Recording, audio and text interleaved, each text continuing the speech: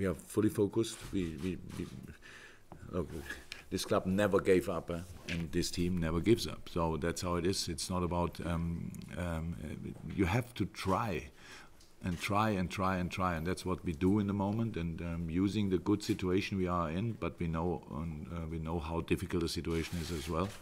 Um, but it's good. We like it. Uh, we like it. We're looking forward to the to the challenges we are facing in the next in the next couple of weeks. And um, so tomorrow night, a tough one against Porto, and um, yeah, hopefully we can use the uh, the good shape the boys are in at the moment.